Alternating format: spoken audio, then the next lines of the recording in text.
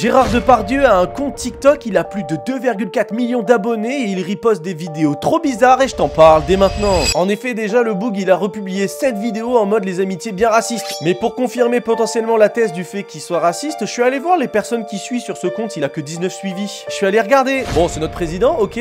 Ah, Marine Le Pen, d'accord. C'est qui ça, ce M France? Ah, c'est le compte de sa campagne de Marine Le Pen, d'accord. Ok, il suit Jordan Bardella, national. C'est trop bizarre, toutes les personnes que je scroll dans les suivis, c'est que des personnes qui font partie du RN. Sais, l'extrême droite euh, qui a été créée par euh, Marine Le Pen et Jean-Marie Le Pen à l'époque. C'est trop bizarre, genre. Donc vous, est-ce que vous saviez qu'il y avait ce mystérieux compte de Gérard Depardieu qui était sur TikTok? Est-ce que vous êtes déjà tombé sur ces TikTok qui republie N'hésitez pas à me le dire dans les commentaires.